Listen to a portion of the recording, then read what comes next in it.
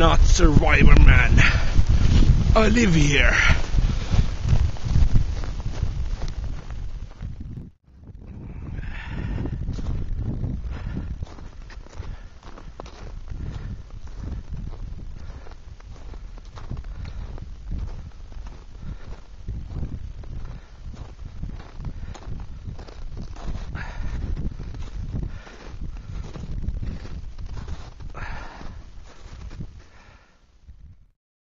You see no smoke in the village, even the fireplace is not on. Yet it is warm inside. These houses get heat from the ground.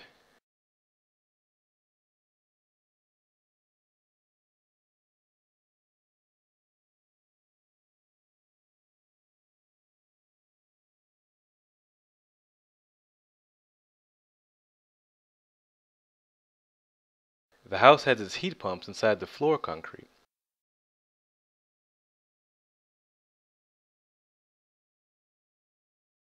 The heat pump takes energy from the ground and heats the water that circulates the floor.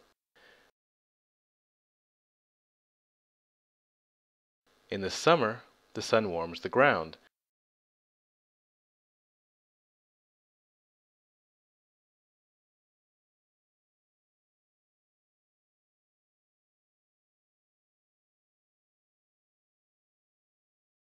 We can cool that ground all winter.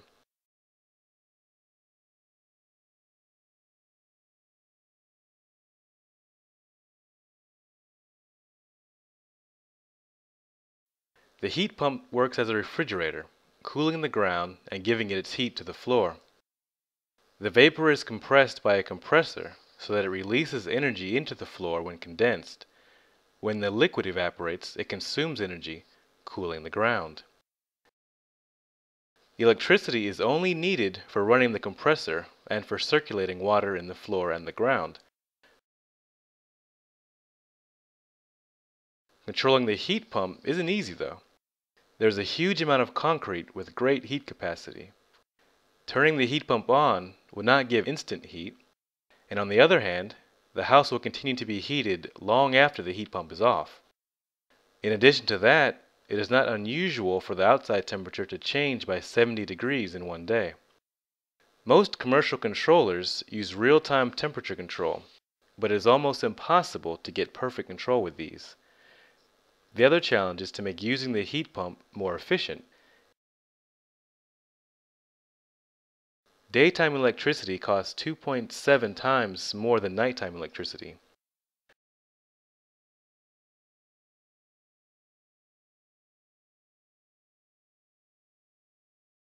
While compressor manufacturers struggle for a small percent of efficiency improvement while running their heat pumps with real-time control, just running the heat pump at night would give an enormous energy consumption decrease. Using nighttime electricity is possible because of the heat capacity of the floor, but this makes controlling the heat pump even more challenging. The solution? We need a weather forecast.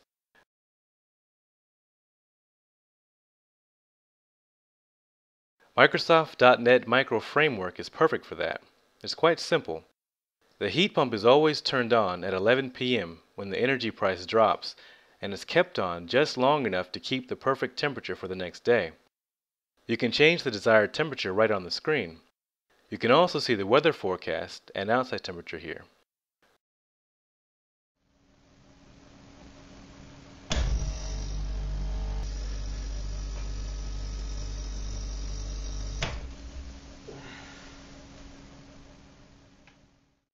For that we have connected three Dallas I2C temperature sensors, one outside, one inside, and one on the floor. An Azure service gathers RSS info for weather for all clients. It also gets feedback on energy use and actual temperatures from the clients for statistics. The controller connects to the server after approximately 30 minutes, and there are only a few hundred bytes to transmit.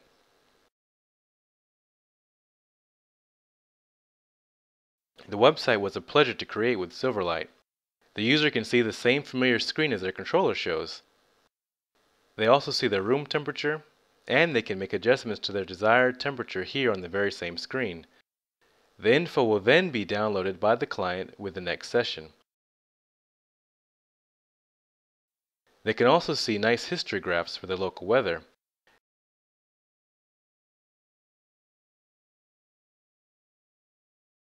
They can see how much energy they have saved by using our controller.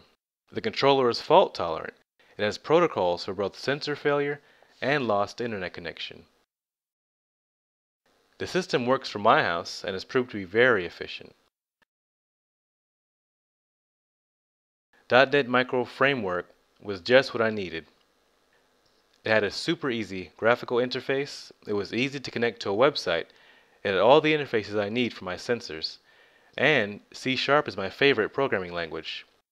In addition to selling the controllers, the website and even the controller can be used for advertising. When people get excited, sensors for additional info, like wind speed and direction, humidity, and others, can be sold. The controller could be used for turning on and off other appliances. Weather and comfort has always been, and always will be, one of the main interests of the people. For economy solutions, the local screen is not even necessary.